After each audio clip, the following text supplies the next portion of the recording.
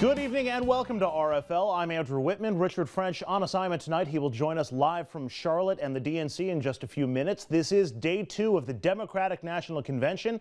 Last night's highlight, a keynote speech from First Lady Michelle Obama. And tonight, former President Bill Clinton takes the microphone. Lots of excitement brewing in Charlotte. We go live there now where ABC's Karen Travers joins us with the very latest. Good evening, Karen. Good evening. Tonight, Bill Clinton will remind Americans of the economic prosperity of the 90s and why President Obama, not Mitt Romney, can make that happen again. Thank you.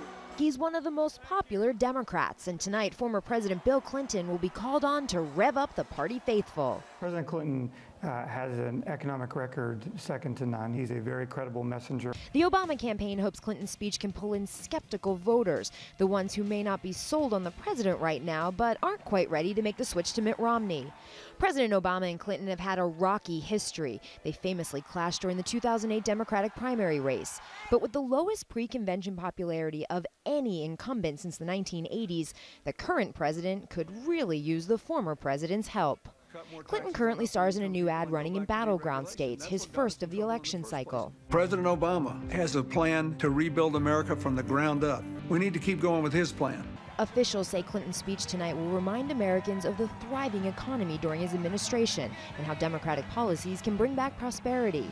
But does the Obama campaign run a risk with that trip down memory lane? The danger for President Obama is that a lot of people might wish that Bill Clinton were president again, because after all, things were a whole lot better when he was president than they are today. Chicago Mayor Rahm Emanuel, who worked in both the Clinton and Obama administrations, disagrees. Former president who's very popular, who will talk and explain about uh, the policies and the parallel uh, tracks that the two presidents have had.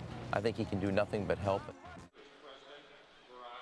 Bill Clinton may be the president's best messenger right now, and the Obama campaign is counting on the man from Hope to give just that to frustrated Americans. Reporting live from Charlotte, North Carolina, I'm Karen Travers. Now back to you. All right, Karen, thank you very much. Now, here is why this week is so critical for Barack Obama and his reelection campaign.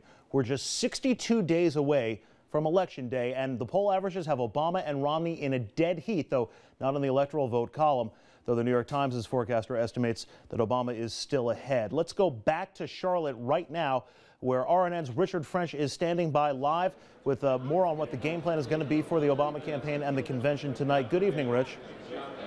Good evening, Andrew. Thank you. And in fact, I'll reference a little what you did last week in Tampa, and I want to bring in my next guest for a little comparison as to then and now. Michael Shure from Current TV, and uh, you were in both places. We've only had one day, and obviously uh, the second night here, Galveston, a couple hours ago.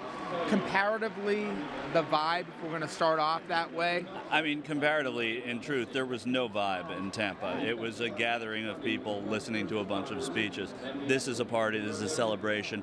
There's an energy here that, that Tampa didn't come close to replicating. I'm a little surprised only that I thought when people walked into this place, um, they obviously committed to the candidate, but it's a much different feel. You were in Denver with me. Uh, it's a different, there was the hope, the change, but the expectations now, there's resignations to reality. I don't know. Uh, like you, though, I thought they at least accomplished what they set out to last night. Yeah, you know, I think that it's it's like a wedding day in 2008, and then four years on, the marriage isn't what it was on its wedding day. It could still be great, but there's still fissures in it, and there are things that aren't working as well. And yes, I mean, they, they've created energy in here. It's a tighter building than Tampa. It's a smaller building. There are more people here. Uh, and I think when you have the President of the United States, you have a different energy. And Bill Clinton, I think, is going to create some of that energy too. I, I do think, though, that when you see the, the way that the Republican Party was fractured throughout the primaries and they're sort of going along with their candidate, it makes a big difference. This is the candidate of these people in this building.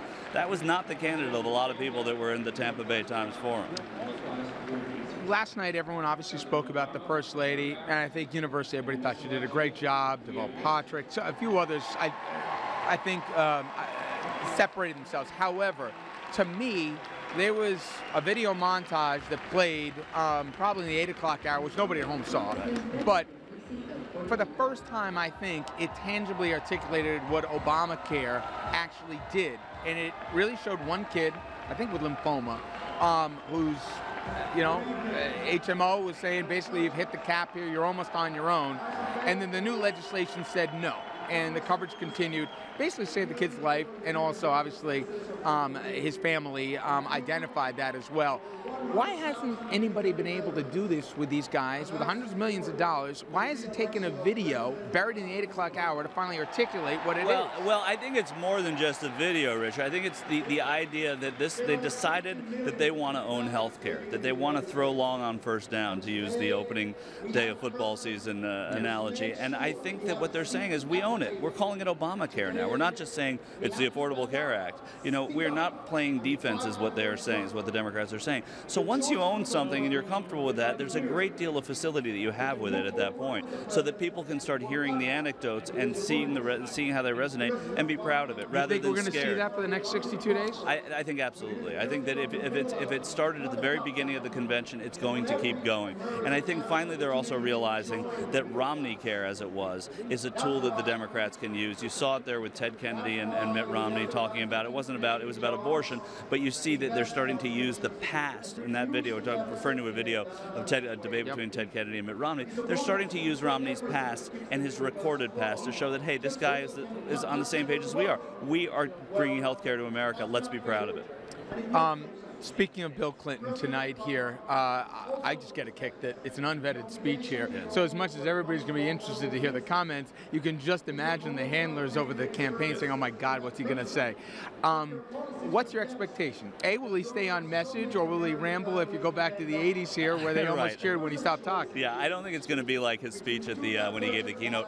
I do think that, the President Clinton is going to come here to mend some fences with some people that he distanced himself from, uh, in, in the in, you know in the Obama family, and rightly so. I mean, he was he was advocating for his wife who was running against Barack Obama. I sort of understood it then, but he still has fences to mend. He's also the most popular figure in America in politics. So today he got an overall rating of 69% approval, with women 73%, which is amazing when you consider that the th- the marks against him have everything to do with what women would think of him. However, uh, Bill Clinton is a beloved figure in this hall. Whatever he says is going to be greeted with a lot of excitement. So I don't think they're they're going to have the you know Clint Eastwood was the last guy to give an unvetted speech. Yes. So I don't think we're in that territory. And with no Bill empty Clinton. chairs tonight. no, no. empty Hey. Michael, great job, man. Thank you so lot. Yeah, much. course. Absolutely.